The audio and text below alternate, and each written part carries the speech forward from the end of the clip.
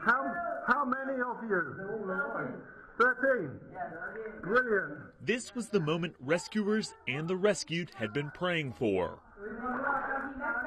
Twelve schoolboy soccer players and their coach found at last, nine days after disappearing in a flooded cave complex in northern Thailand. The boys, aged between 11 and 16, went missing with their 25 year old coach on June 23rd. They had visited the 10 kilometer cave complex, but for more than a week, the only clue had been their belongings left at the entrance and handprints on the wall. After a search hampered by heavy rains that had flooded the caves and blocked the way out, divers late Monday eventually reached an elevated chamber where it was thought the group may have taken refuge. We are coming. It's okay. And that's where they were, hungry, tired, but relieved. Medical teams were sent in to assess their health, and the boys and their coach were given food, while rescuers planned a strategy to get them all back to the outside world. 10 days. You are very strong.